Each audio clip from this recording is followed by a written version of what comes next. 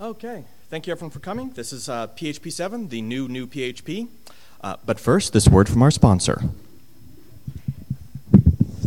Acquia is the digital experience man. I'm just kidding. Um, so, uh, so I've known Larry for about 10 years now, or something like that, a really long time. Yeah, coming up on 11. Uh, we first met at DrupalCon Sunnyvale, and it was interesting because back then, like Drupal.org didn't have funny, you know, user pictures or any of that. We were all just blue nicknames, and um, so I had in my mind a picture of Larry based on his online interactions. It's like this burly, muscle-bound guy with like long, greasy hair, who like I don't know. And then I met him, and he's like this scrawny nerd with like orange hair. So I thought that was pretty cool. So he's been defying expectations ever since. But um, what I really like about Larry is uh, he really goes after like huge, amazingly insurmountable problems. You know, everything from trying to make every hosting company migrate to PHP 5 back in the day, to uh, you know making Drupal's database abstraction layer you know something other than raw SQL and written everywhere, and all the way up to you know bringing Drupal off of the Drupal island and incorporating best practices from libraries everywhere else. And Larry's kind of taken each of these things by the horns and wrestled them to the ground and, and really brought the project forward. So I really wanted to say thanks for that.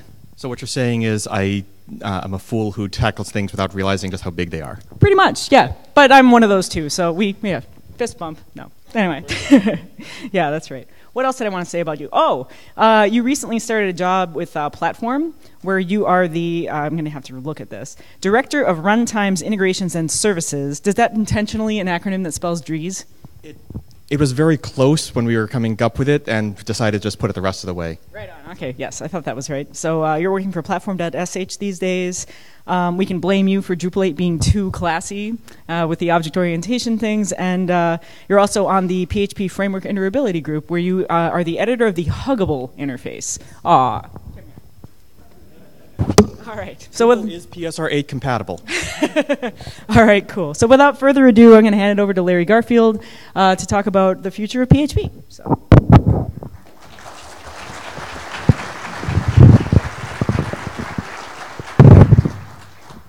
And things down now. Here we go. For those of you who don't know her, that's Angie Webchick Byron, uh, with our product owners, Drupal 7 release maintainer, and a gazillion other pieces of awesome that I'm not going to mention now because I could fill my entire session with that. So, now that that's over, all right, we talked about me. Let's talk about PHP 7. That's why we're here, right? PHP 7 is you know, new. It was released last fall. Uh, it's cool. It's wonderful. Uh, what happened to PHP 6? Yes, uh, see, uh, PHP 6 actually eloped with Perl 6. They moved to Vegas. Um, no, no, no.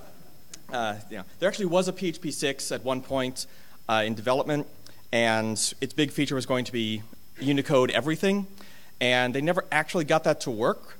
So the internals team ripped out the Unicode part and released the rest of what was PHP 6 as PHP 5.3.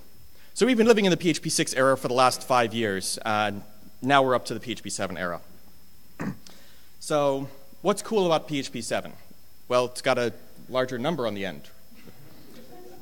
Besides that, there's a lot new in PHP 7. Um, something like 30 or 40 uh, RFCs that passed for it, uh, with new feature improvements, underlying uh, improvements under the hood.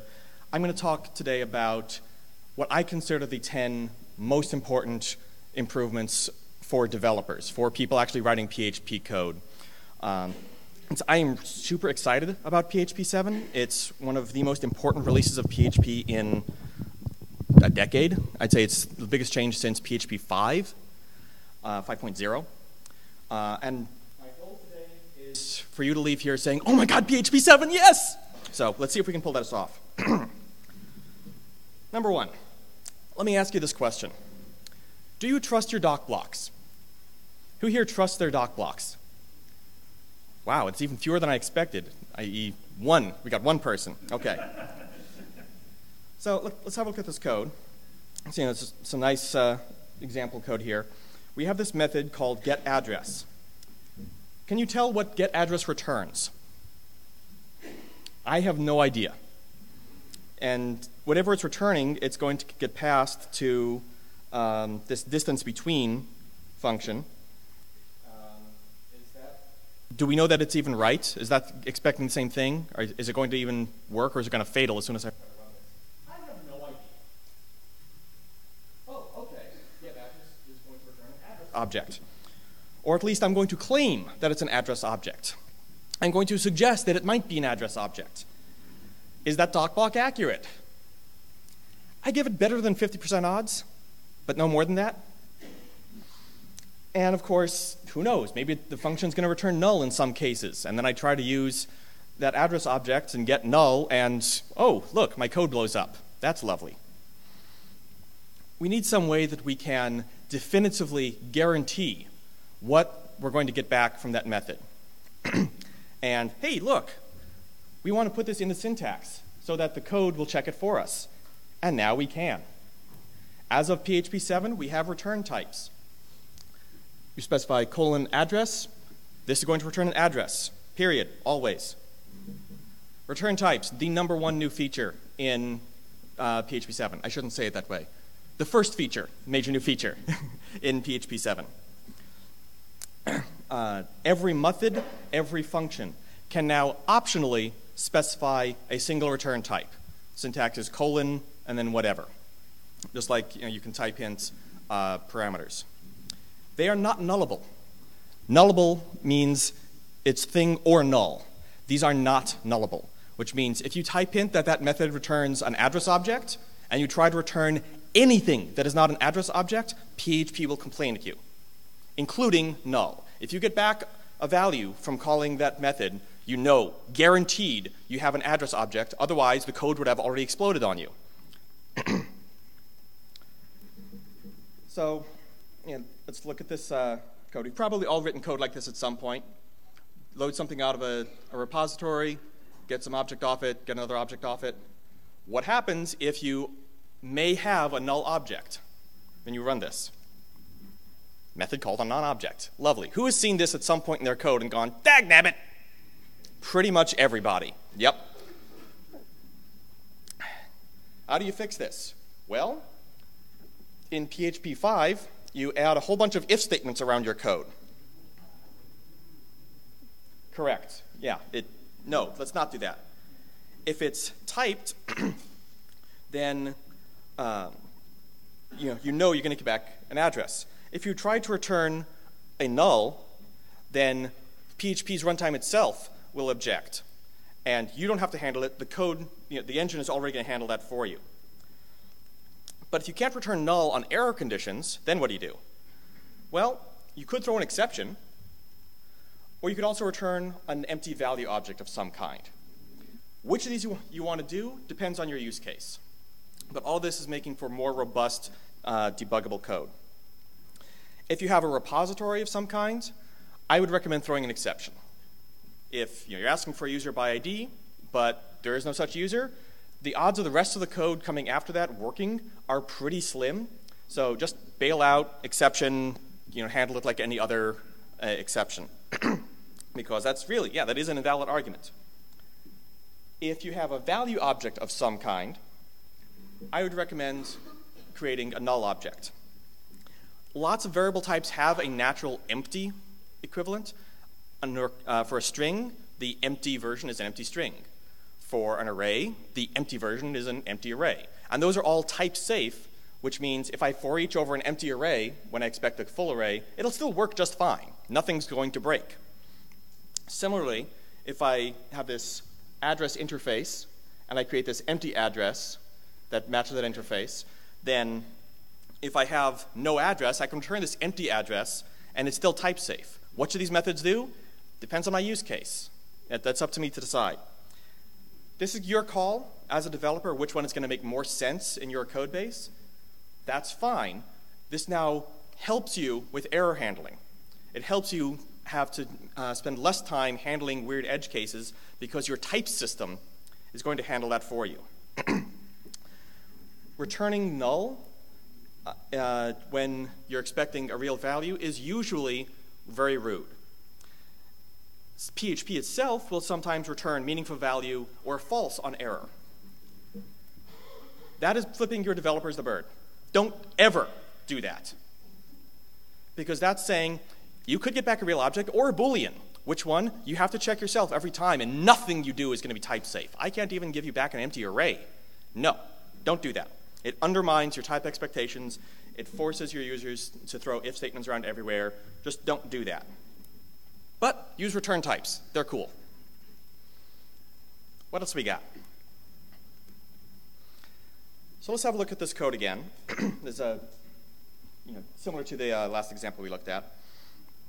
And we've got this distance between uh, function that takes two addresses and computes the, the distance between them. Okay. But you know, then what is that supposed to be? Is that an integer? Are we going to round off to the nearest mile or kilometer?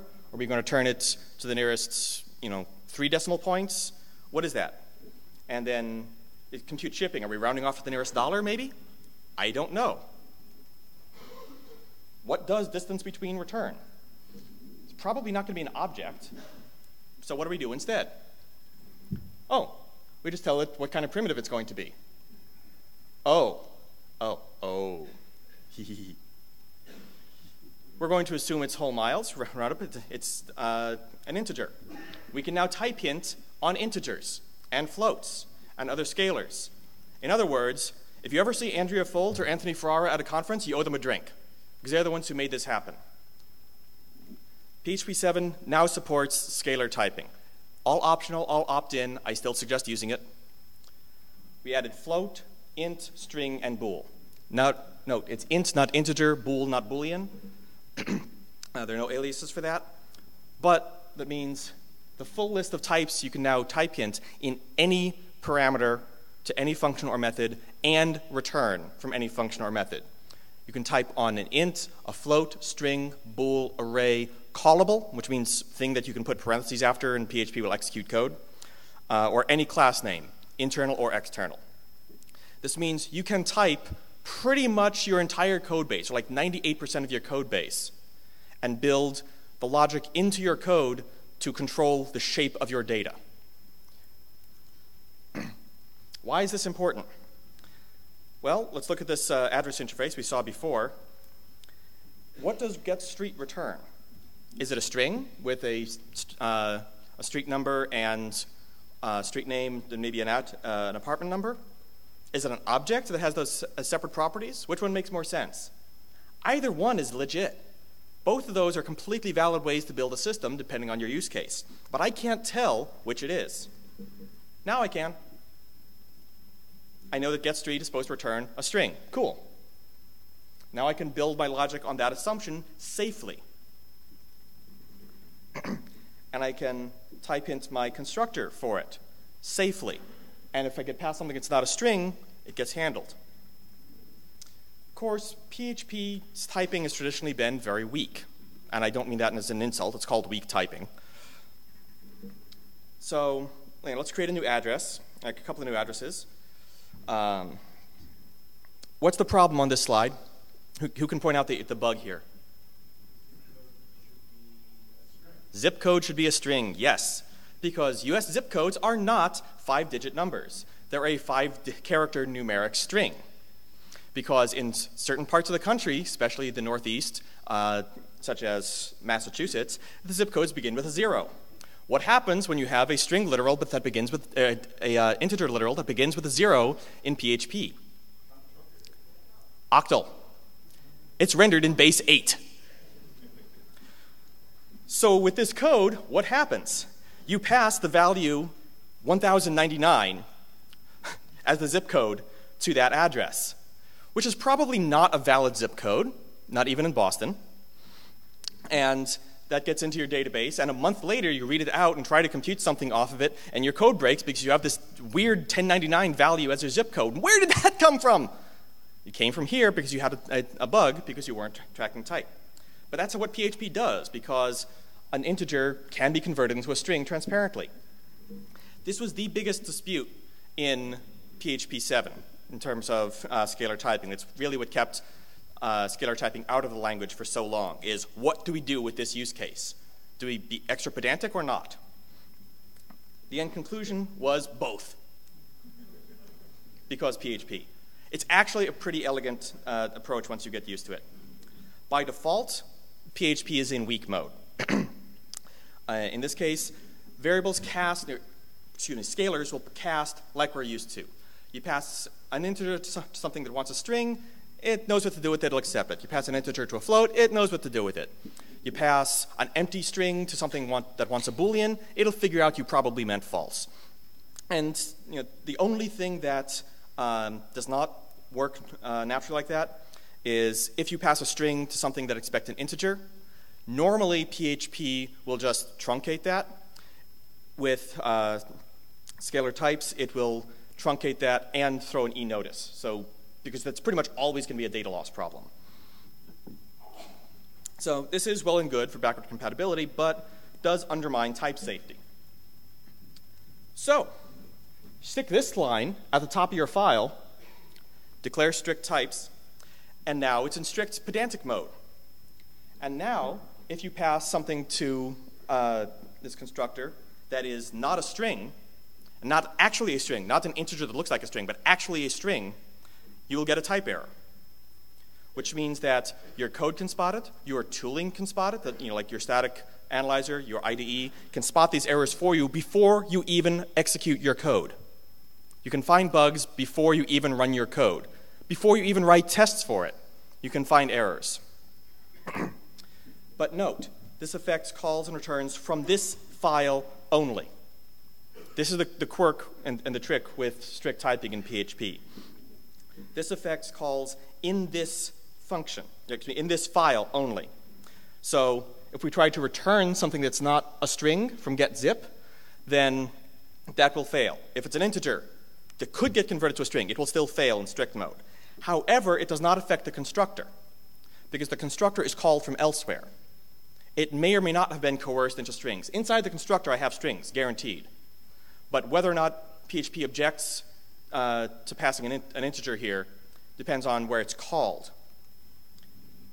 In our setup file where, where we're calling from, we declare strict mode, that will impact right here. That will catch this error because we have an integer, we're calling to a string, we're saying PHP on my code be pedantic, not on the code in someone else's file, on my own code only. But it will not affect um, the, you know, the uh, get address or get zip methods, actually the, the returns in, in those uh, classes. this is a little weird. It feels odd at first, but once, you, once it clicks, it makes a lot of sense, and it's really intuitive. In strict mode, the only casting that happens, the only coercion, is an integer will convert to a float without uh, complaining, because that's safe to do in the 99.9% case, and most languages do that. If you run into a case where you're in strict mode and uh, you, know, you still need to convert something, you can either convert it yourself and, and cast the variable yourself, or redesign your code. I would recommend redesigning your code because if you have a type mismatch, there's a pretty good chance that you're doing something wrong and don't understand your problem space. Good data modeling and good type checking help you understand your, your uh, problem space better. When should you use strict types? I'm going to argue almost always almost always. The exception is when doing input, because let's face it, we're on the web, everything comes in as a string. No matter what it is, it comes in to us as a string. So, my recommendation where you're doing input, leave that in weak mode. That passes off to some other part of the system. That gets uh, cast automatically, and then you keep everything else in your system in strict mode. This catches the most bugs. um, that reduces the number of tests you need to write. This really helps you drive good design. It means you have to keep your input op output operations separate in separate files from the rest of your code base, which you should be doing anyway, right? Right. This is also documentation. Who's heard the phrase good code is self documenting? You don't need uh, documentation for it, you don't need comments. Right. Anyone who says that and is not using strict typing with scalar types is a hypocrite. This is inline documentation that cannot go out of date. Because if it goes out of date, your code will complain at you. PHP will catch this fact for you. This is good documentation. Course, there is one uh, BC warning here. We do have a couple of new reserved words. If you have a, a class or a function named int, string, bool, or float, uh, that will now break. That's already been fixed in Drupal 8 and in Symfony and most other systems. It's real easy to fix on that. Whew. That's heavy. That's a lot. That's cool. Let's try something a bit lighter, shall we? You've probably written this code at some point in your life. You're doing a sort, you need to provide a, a custom sort function, and because of how sort works, to sort things you return negative 1 if the first one is less, and 0 if they're equal, and 1 if it's greater than, and I always go to look this up. I can never remember which number I'm supposed to return for what. I really, I can never remember it. And it's long, and it's ugly, and it's stupid, and we don't have to write that anymore. There's a new uh, token in PHP, a new operator in, in, PHP 7 called Spaceship. This is actually what it's called in the engine, the, the name of the token, and it looks like this. Because, well, it kind of looks like a spaceship, right? Specifically, a TIE interceptor. See? Arrow and arrow and, yeah, right, okay. This is exactly equivalent to that previous slide. A, spaceship B, which means sort these things and return 1, 0, negative 1, whichever it's supposed to be, and I don't even have to remember which it is. A comes before B. or, or compare those. Great. Of course, that's not the most useful example. Most times when you're doing a custom sort function, it's not the degenerate case. I'm doing something more interesting, like uh, comparing two people. I want to sort them by last name and then first name. Seems reasonable, you know, not, not a abnormal thing to do. And this is what you have to do for that in PHP 5. Return negative 1 here, 1 and L to get nesting, and, and which 0 is this, and yuck. That's long. Is there any way we can make this shorter? Well, I guess we could use ternaries.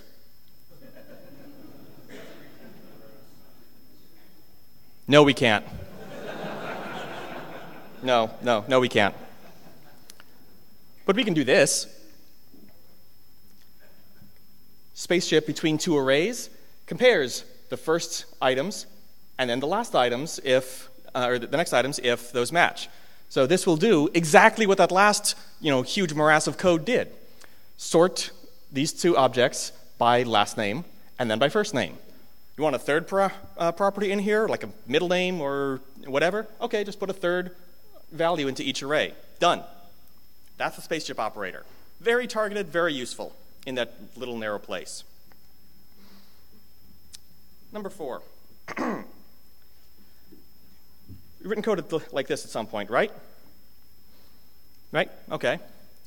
But this is ugly and boring and redundant. So at some point, PHP added, I think it was in 5.4 probably, maybe just 5.3, um, this collapsed short ternary it, if the username is a truthy value, use that, else uh, return anonymous.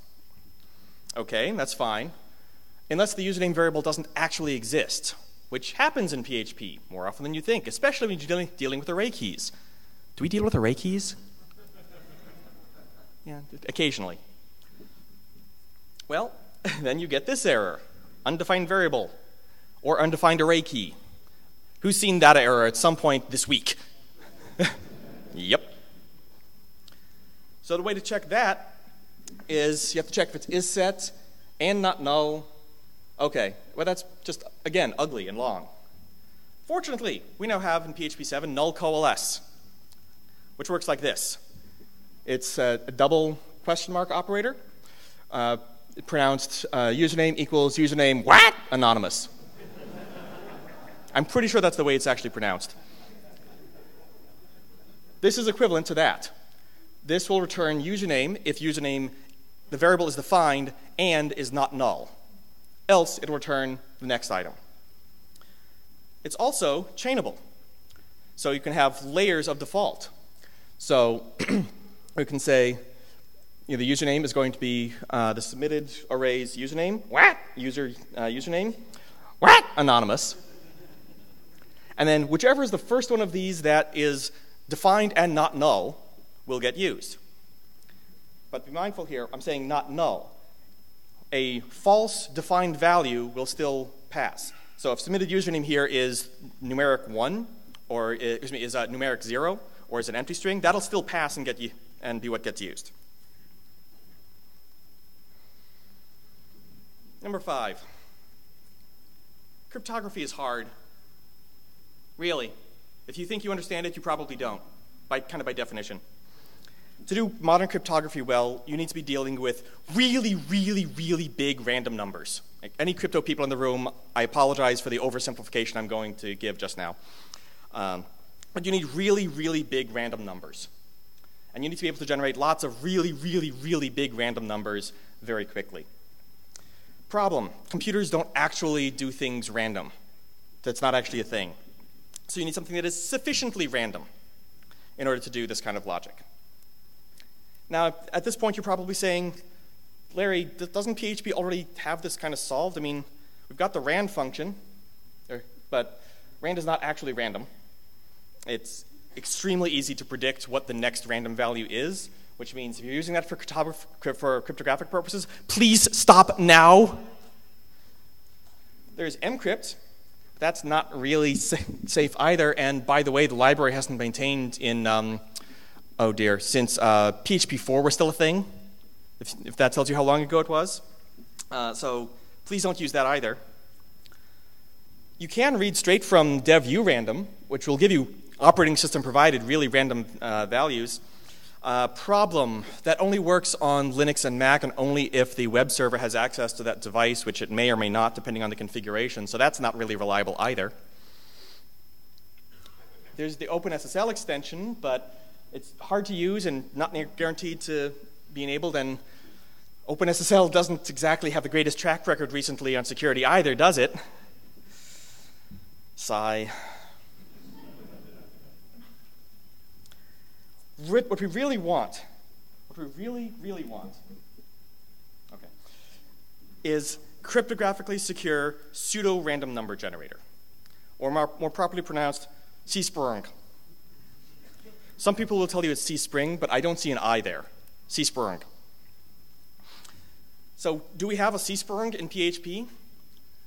Well, we do in PHP 7. You want a series of cryptographically secure random bytes? Okay, call the random bytes function.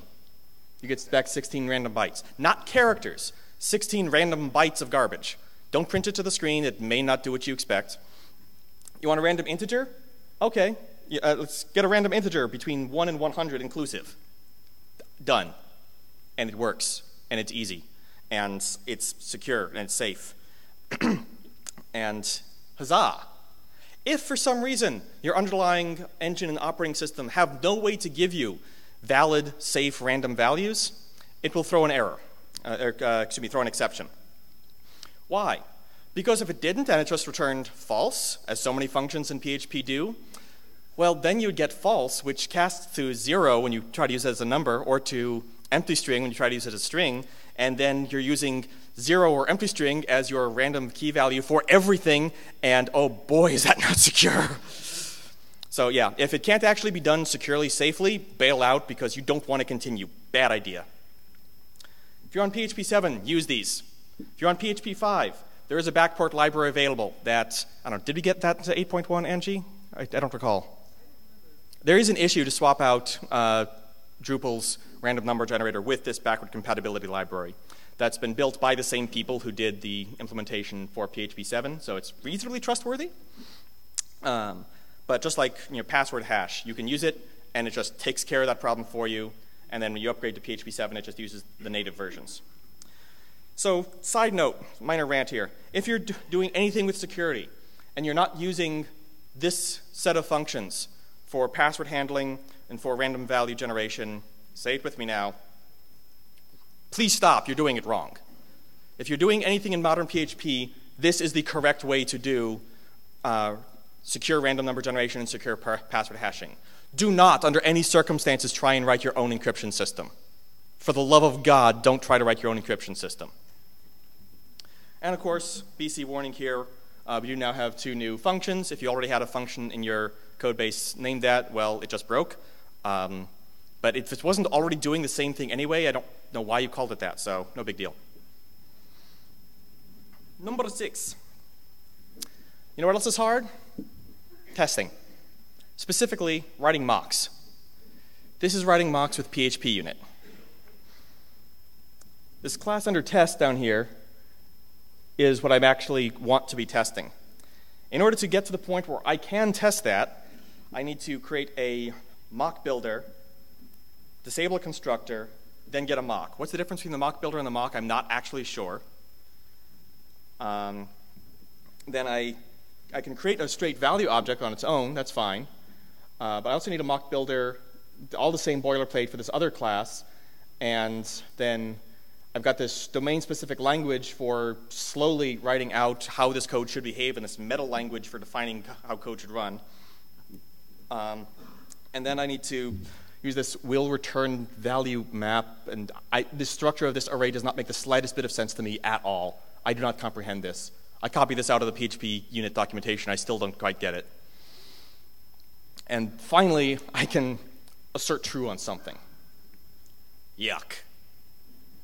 What we really want is just a custom class that we can use for testing purposes only that I can just write code for and not have to write this code that defines code nonsense and you know, just use that for my test. But I don't want to have to have another class and hit the autoloader and it be in another file. I just want it right there, just like the mock is.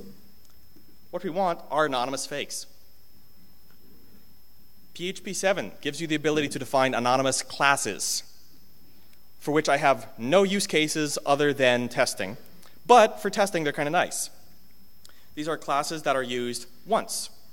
In this case, uh, we're going to create a new class that extends the thing we're mocking, override the constructor to disable it, which is, this is much easier to read. And then that uh, load method, okay, forget this map stuff. I can just do you know whatever. I can write actual code to return what I want to actually return in these cases, and I can even return new anonymous classes if for some reason that I need to do that. I can nest them.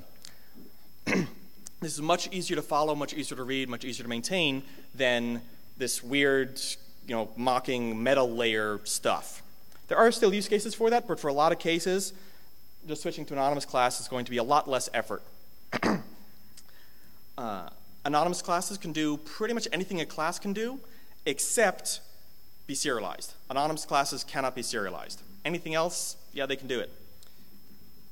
Could have a new class that implements uh, our logger interface and just pass it in directly. The service requires a logger. Okay, we'll give it a debugging logger right there. And it accepts traits too, just like a class, any nor normal named class does. We can have a constructor, and you can call the constructor. Pass a, a logger interface object to it, it takes it and does whatever it's going to do. As with anonymous functions, you can write some extremely impossible to read code this way. Please don't. But when used judiciously, they can make your code a lot cleaner, a lot simpler, a lot easier to read, especially in tests. If you have a use case for them outside of testing, please let me know. I'd actually love to find a use case for them. But at the moment, testing is the main, uh, the main use case. What else is on the list of things that suck? Fatal errors. Those suck, don't they? Now, PHP has two kinds of fatal errors. It has actually fatal, and it has things that are called recoverable errors, except you can't actually recover from them. This is helpful. Problem with recoverable errors is that there's really very little cleanup you can do. You get a single unified uh, callback that gets called with no context um, that doesn't let you actually recover. You can't you know, figure out your system unless you're doing everything globally, which you're not, right?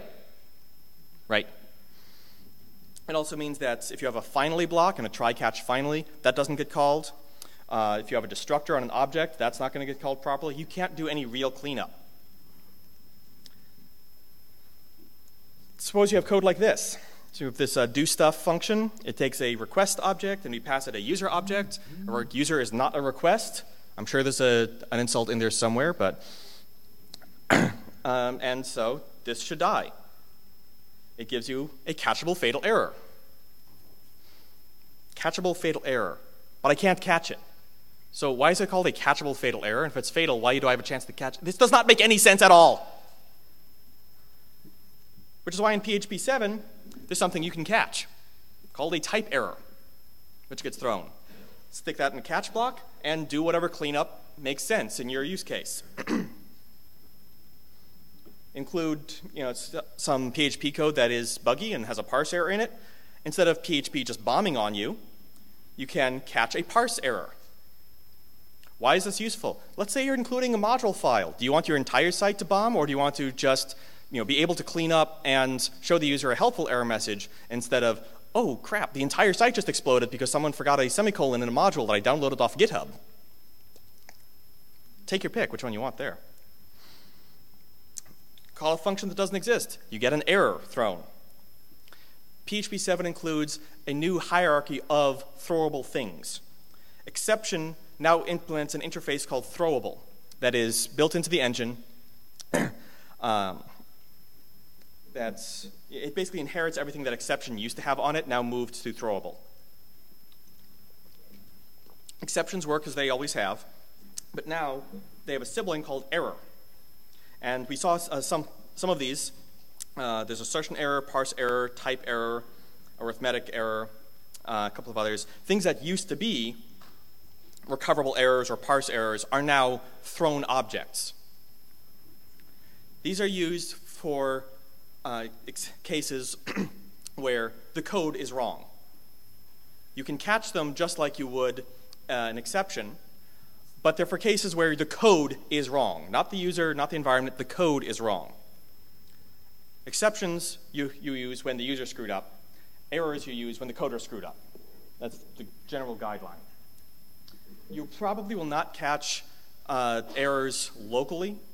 The, the real use case for them is something like Drupal having a global error uh, handler rather than exception handler, so that if you know you have a type error or a module is buggy or whatever, Drupal can catch that, or whatever your framework is can catch that and say, oh, there is this problem. I will log it like a, a, a, good piece of code so that we can debug it later. And I'll show a nice message to the user saying that such and such broke, and we'll report it to the administrator, and it, it's okay, rather than just saying fatal error, whatever. No, bad. These are, most of these cases you couldn't continue anyway with your code. It's a matter of you know, cleaning up nicely uh, after yourself. Again, backward compatibility warning here. It's a couple of new class names that are reserved. If you had an exception named those already or a class named those already, uh, those will now break. Um, your odds of that are, again, pretty low. Um, there's also the global exception handler.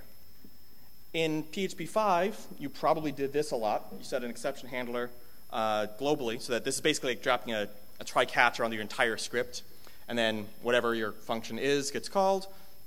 Yeah, this is your, you know, your catch block essentially. And you can type hint it on an exception because it'll catch anything. Uh, problem in PHP 7, it could also get an error at that point. It's caught by the same function. So you have to type hint on throwable, which is the parent of both error and exception. Uh, of course, that breaks on PHP 5 because there is no such thing as throwable. So, yeah, just don't type hint it. This is what we did for Drupal 8. Um, sorry, whatever. Oh, let's see, what else sucks that we can fix?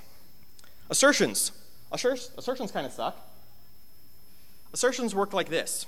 Who's actually used assertions in PHP? Wow, that's more than I expected. Very few people use assertions in PHP because they don't work right. Um, the basic idea is you have this function assert, and that asserts that this statement is true. And if it's not true, you die with this additional error message.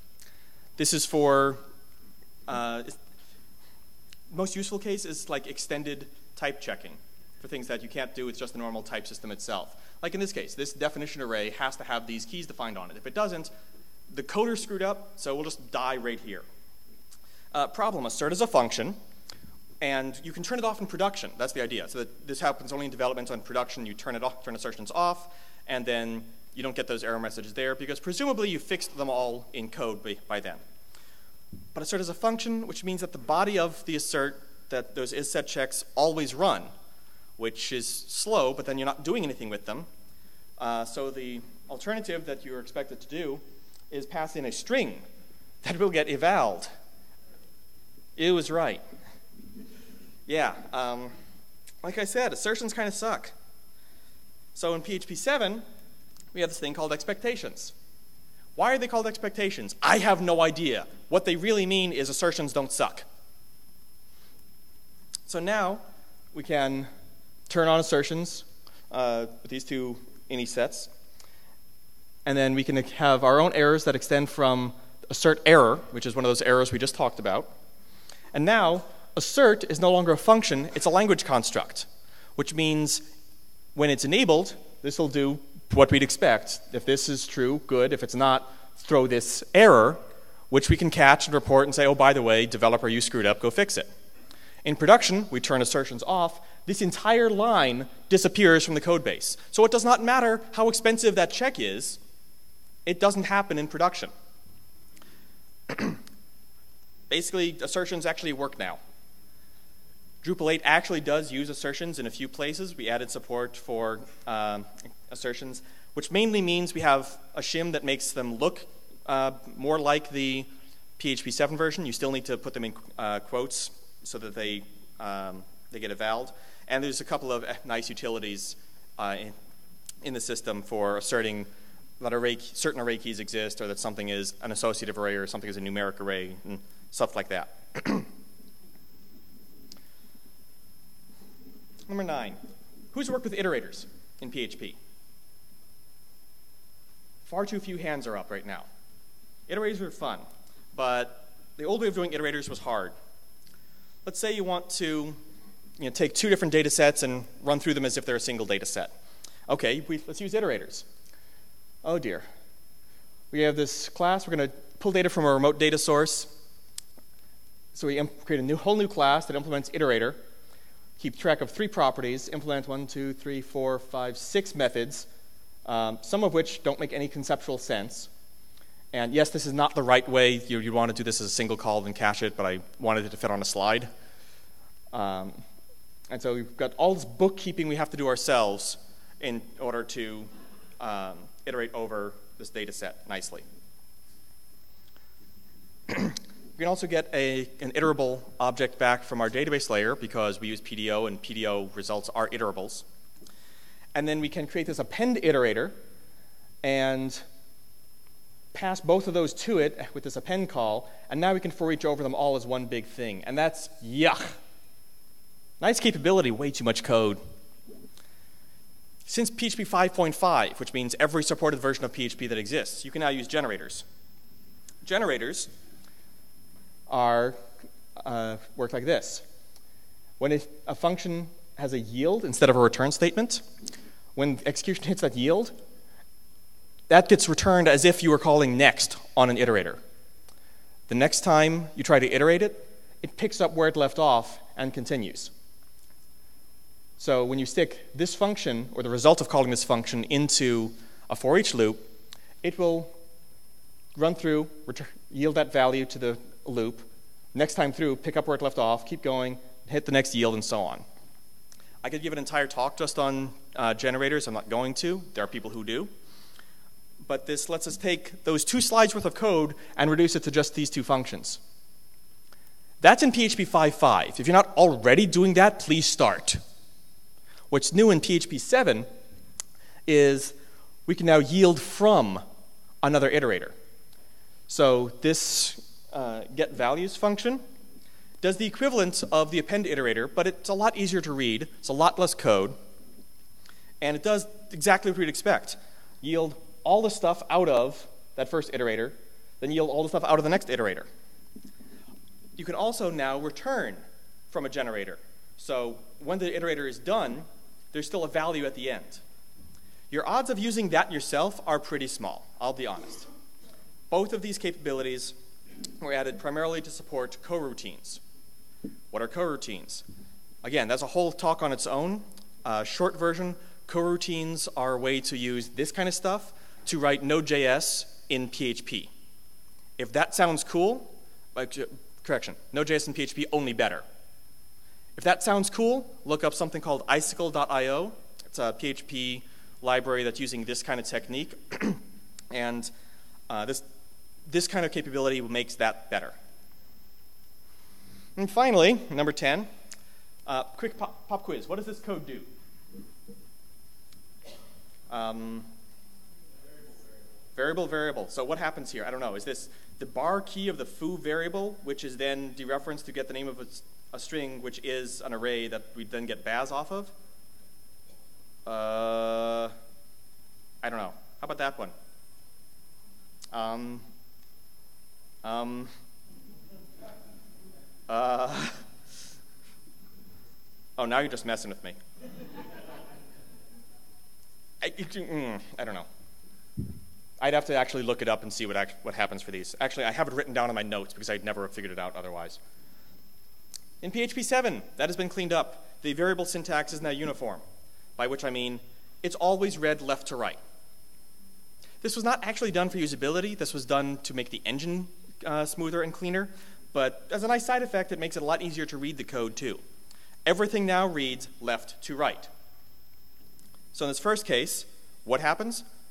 we have foo. We treat that as a, a callable and call that. The result from that is an array. We dereference bar off of that.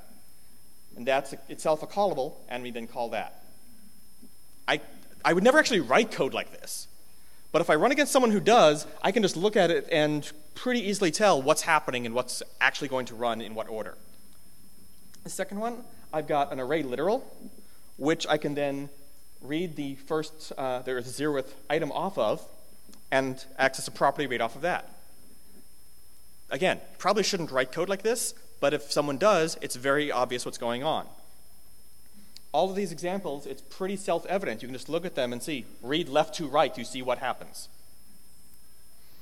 Which enables some really interesting things.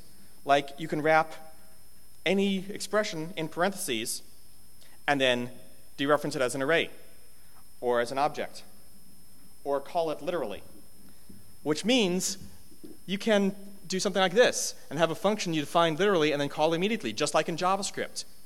Okay, maybe that's not the best example, but you can, and it works. More importantly, you can now, uh, if you have a, a callable on that is a property of an object, throw parentheses around it and you can call it directly without assigning to a temporary variable. Everything just becomes more logical and, more, and easier to predict, both for you and for the engine. Of course, one BC warning here. This means that all those complex cases we just looked at a moment ago, what they actually mean um, changes depending on which PHP version you're in. Solution to that, um, don't. Or, you know, wrap stuff in parentheses or sometimes curly braces, uh, and it will force an order of operation. You can still do that in PHP 7 if you really want something to evaluate differently. But at that point, what are you doing? So that's it. That's the top 10 features in PHP 7, as far as I'm concerned. But um, this is PHP 7, and we're not done yet. PHP 7 is fast. Really, really fast. How fast is fast? Faster than a cheetah trying to imitate a kangaroo. Which is a line I use just because of that picture. Why? How did PHP 7 get so much faster? Well, the reasons are pretty nerdy. I'm not going to go into them in detail.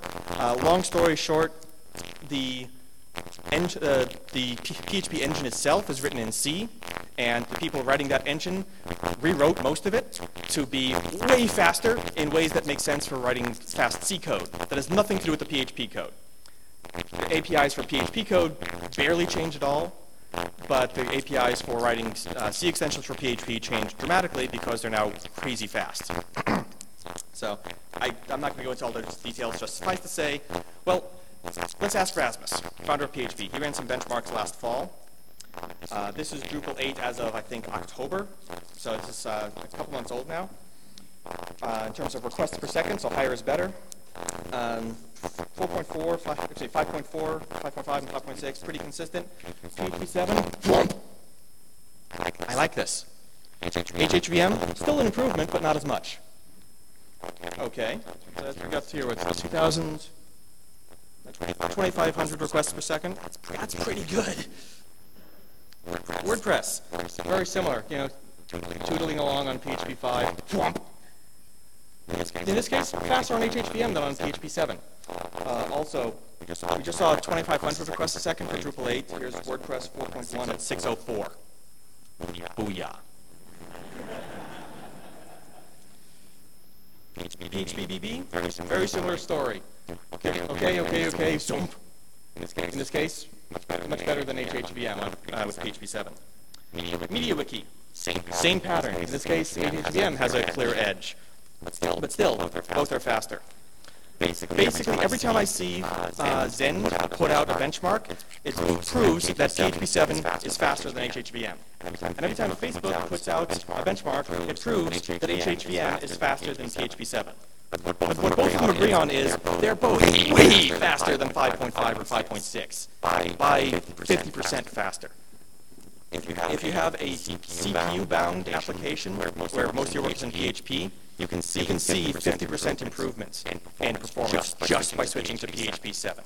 There are companies, there are companies that, have done, have done a switch to PHP 7 uh, with, uh, with very, very large code bases and, and the memory, the memory savings, and the CPU, and the CPU savings, they've been able to turn off half, half of their server cluster just by, just by switching to PHP 7. If you take, if you nothing, take nothing else away from this talk, PHP 7, PHP 7 is the number one performance improvement you can make on your site today.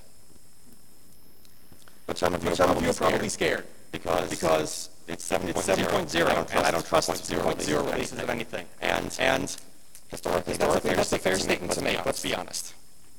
But not this, but time. not this time. Drupal 8, Drupal 8 Symfony, Symfony Zend, Laravel, Laravel Yii, Magento, Slim, Slim, WordPress, WordPress Kate, Doctrine, Doctrine phpMyAdmin, and probably, and probably a bunch of others I couldn't find logos for, are already, already fully tested and, and full test, full test pass, pass under PHP, under PHP 7. This, is what, this is what automated testing does for you. PHP 7, 7 is the best, best release of PHP in history because, because all of these all projects are testing their code, their code base, their weird edge, weird edge cases on PHP 7 for six, for six months. In fact, in fact, PHP 7 is supposed to come out, out um, in, in November. November. It came out, it came out early December. Why? Why? Because the last minute, minute Drupal, Drupal, with our testing, our testing found bugs in memory, memory handling of PHP 7, 7 because, because regression test for array handling in PHP. I'm not actually making that up. That's, it was in the array, array handling. And so they, they you know, found that, fixed that bug, and then sat on it for two weeks to make sure, okay, that didn't break anything else. So, so you know, PHP 7 is the most tested, most battle-hardened zero release of PHP ever. Drupal 8, uh, the Drupal CI uh, structure running on Drupal.org can test everything with PHP 7. Drupal 8 core does pass its entire test suite under PHP 7 and has for months, as does as do almost all Drupal 8 modules. If they don't, well, go fix that module. What about the hosts? Do we have to wait for the hosts to catch up? Funny you should mention it. phpversions.info.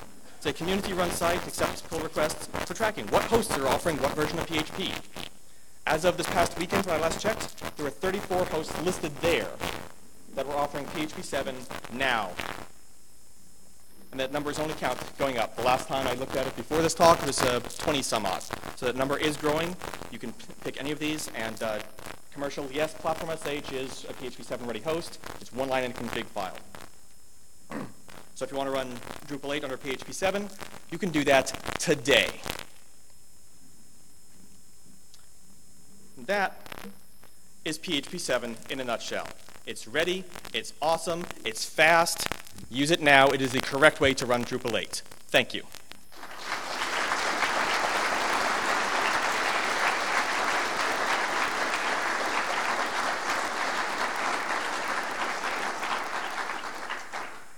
We have a couple of uh, minutes left, so we've got a microphone right here for questions.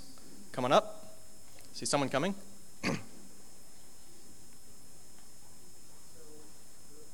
Is that there's, there's a switch at the side, I think.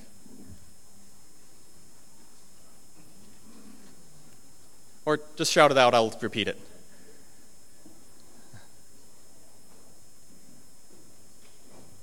Give it a second. I just just, just shout it. Drupal 7 and PHP 7. Um, we're at what, like 98% test passage. There's a few weird things in the session handling. Um, it might run anyway. I haven't tried it, uh, but that's getting very close. And that is something people are working on, and uh, we want that to work, and it will soon. if you've got a site now, you're using continuous integration for your testing, which I hope you are. Travis, Circle CI, whatever your CI system is, add one or two lines to a config file and you can test your own site under PHP 7 as well and make sure everything works there. So very, very close. We'll get fixed soon.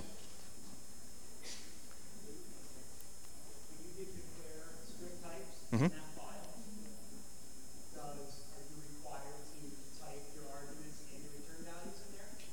If you declare uh, strict types in a file, are you required to actually declare types? No, you're not. What that affects is if you make a function call from that file and the function you're calling has a type specified, PHP should be extra picky about that call. If you're returning a value and you have specified a return type, then PHP should be picky about that return. But you can move, put your code into strict mode, specify no types yourself, and it will only affect the calls you make to other code that is typed. So it, everything is completely opt-in. I just recommend opting in everywhere.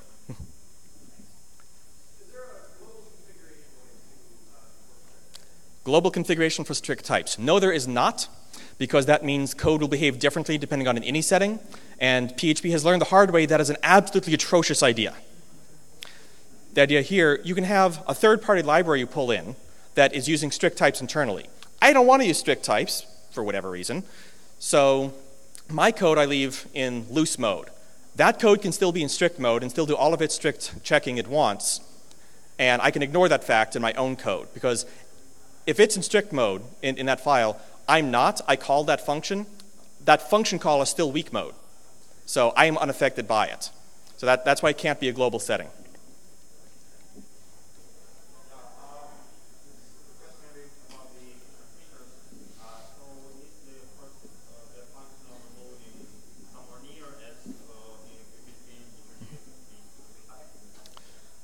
Uh, the question is, is PHP going to adopt function overloading uh, now that we have the strict types?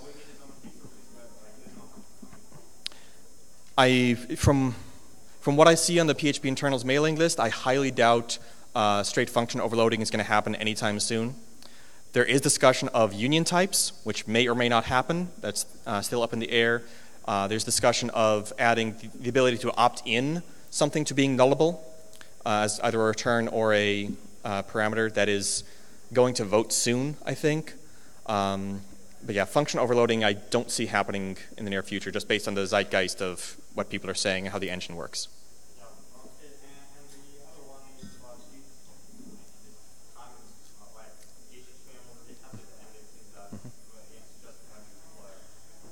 Yes, uh, the question is about uh, a, a JIT, just-in-time compiler.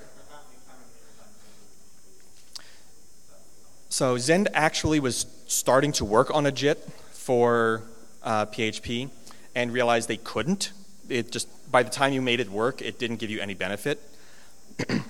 uh, and they solved that problem by rewriting the engine and calling that PHP 7. Uh, there is talk of adding a JIT at some point. Whether or not it's even valuable anymore with the speed improvements in PHP 7 is debatable. Um, I don't know. It may or may not be useful frankly, at this point, there are other optimizations to make that are more valuable, I would say. So maybe, but it's a different architecture, different runtime setup, so uh, not a priority.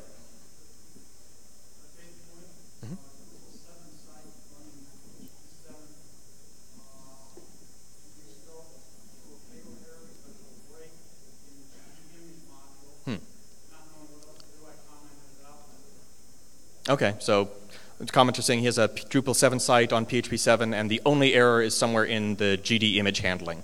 Uh, and beyond that, everything's working fine. So, as I said, it's not perfect, but Drupal 7 and PHP 7 are really, really close.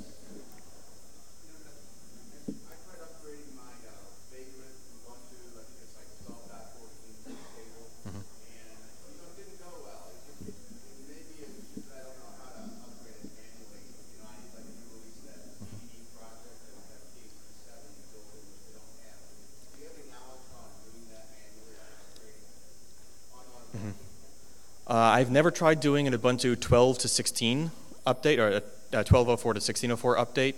Uh, my update, I just recently upgraded my own system from 1510 to 1604 and it went very smoothly. Um,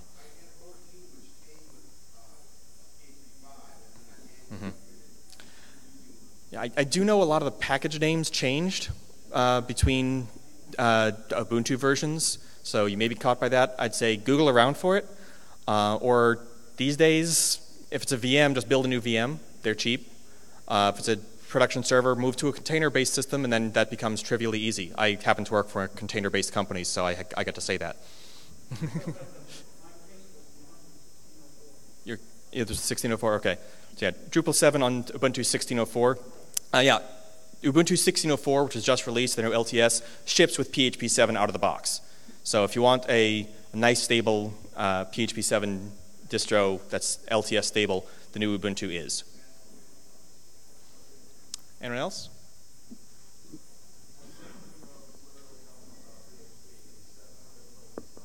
As someone who knows nothing about PHP, is 7 a good place to start? Yes. Most of the system is the same. We added, or I shouldn't say we, I didn't work on it directly, but the internals team added a lot of new capabilities, a lot of new features, um, but the basic language is still the same. So aside from the stuff I just talked about, pretty much everything else you do in PHP is going to be the same between 5 and 7. That said, PHP 7 hosts are not impossible to come by. There's a couple dozen of them already. It, the language is much better, and will also have uh, security support for longer. So I go ahead and start there, and I think I'm getting told I need to stop talking. So thank you everyone for coming. Enjoy the rest of the conference.